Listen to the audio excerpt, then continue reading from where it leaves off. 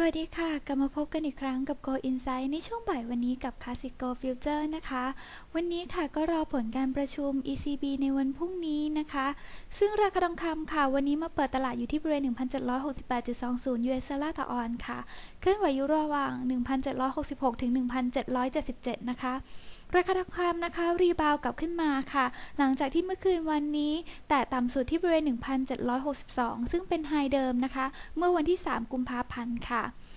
แต่ราคานะคะยังไม่สามารถทำจุดสูงสุดใหม่ได้ค่ะ โดยเมื่อคืนนะคะวันนี้มีการประชุมมาตรการช่วยเหลือกรีซของทางเยอรมันนะคะ มีการอนุมัติออกมาเรียบร้อยแล้ว ก็ซึ่งเป็นผลดีต่อราคาทองคำนะคะ ประกอบกับค่ะในวันพรุ่งนี้ก็คาดการณ์กันว่า ECB จะอาชีดสภาพคล่องเข้าสู่ระบบนะคะ ซึ่งยังไม่ทราบจำนวนที่ชัดเจนนะคะ ก็ต้องรอดูผลการประชุมในคืนวันพรุ่งนี้นะคะ ซึ่งหากเป็นไปตามคาดก็จะผลักดันให้ราคาทองคำปรับตัวสูงขึ้นในระยะต่อไปได้นะคะ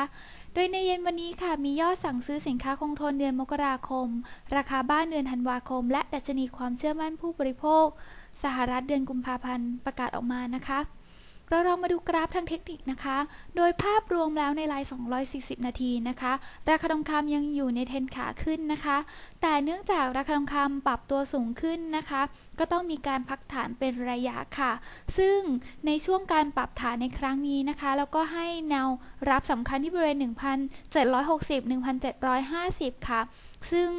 ระยะฐานนี้นะคะจะไม่ทำให้ภาพเทรนในระยะยาวหลุดไปมากนะคะ ก็คือยังคงเป็นขาขึ้นต่อไปค่ะค่ะ ก็ต้องดูนะคะว่า ราคาทองคำจะรับที่บริเวณนี้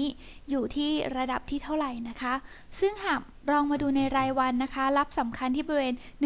1,755 ค่ะ ซึ่งคืนนี้นะคะ หากราคาทองคำปรับตัวสูงขึ้น ไปแตะแนวต้านเดิมแล้วไม่อยู่นะคะ ที่บริเวณ